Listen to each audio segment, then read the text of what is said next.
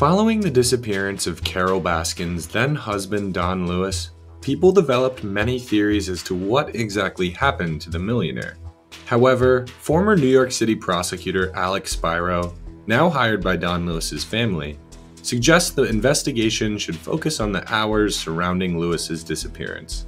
Well, there are all sorts of um, theories about what might have happened to Don.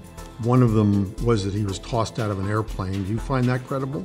Sometimes in high profile cases, people come up with fanciful theories of, you know, tigers, lions, bears, and airplanes. I mean, there's usually a simpler explanation of things.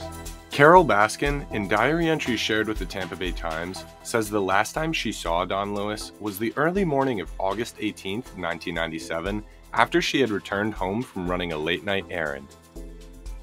At 11 o'clock, you know, she had these kittens that were in the house. There was a bobcat kitten and two caracal kittens.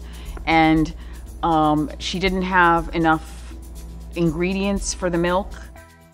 In Carole Baskin's diary entries, she says that she left Don at their home and went out to a supermarket about six miles away, only to find out that the store was closed. Baskin then explains that her car broke down, forcing her to walk all the way home. She says she didn't get home until 4 a.m.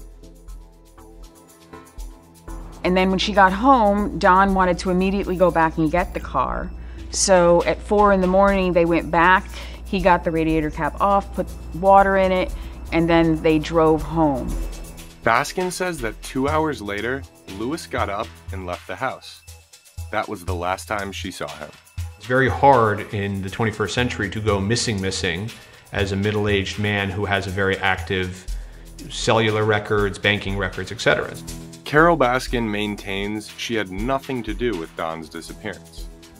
I didn't kill Don.